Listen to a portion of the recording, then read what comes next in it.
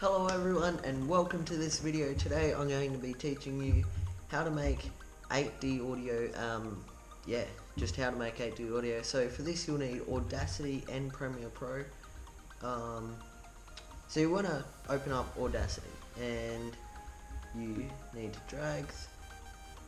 So you pretty much open a song and then drag the same song in just below it like so. There we go. And let's just zoom in a bit. There we go. That is perfect. Then go to selection thing and then you'll want to click on the envelope tool up the top there. So just click on that one. Beautiful. You just want to up the top of the things, you just want to click them there and drag it down. This is at the top of the audio sequence. And then on the second track, make one at the start, but drag the first bit down. That, that'll mean that it'll pass through the ears. And also you're going to want to drag the left and right things So at the top, drag it to the left, down the bottom to the right and that will create the effect of the 8D audio.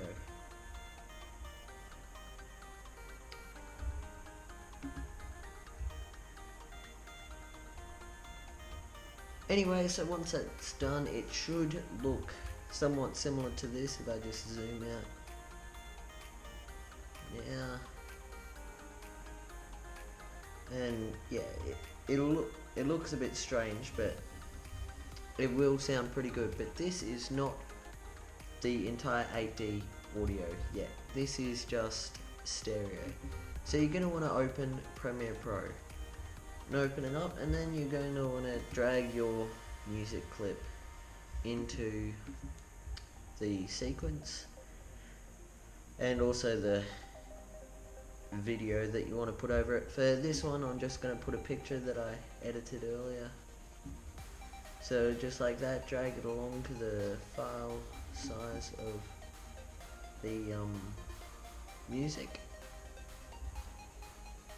And that's it playing there.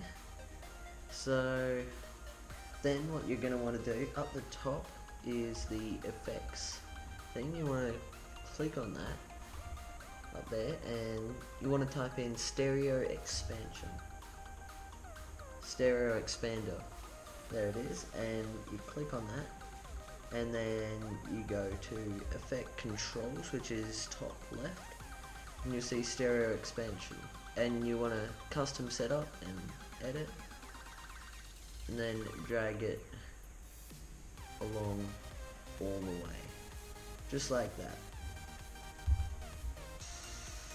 And that will sound pretty good.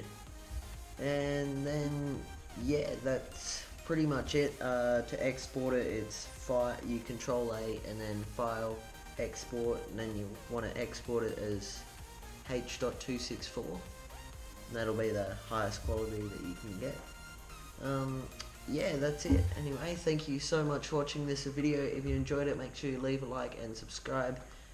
And yeah, thanks for watching.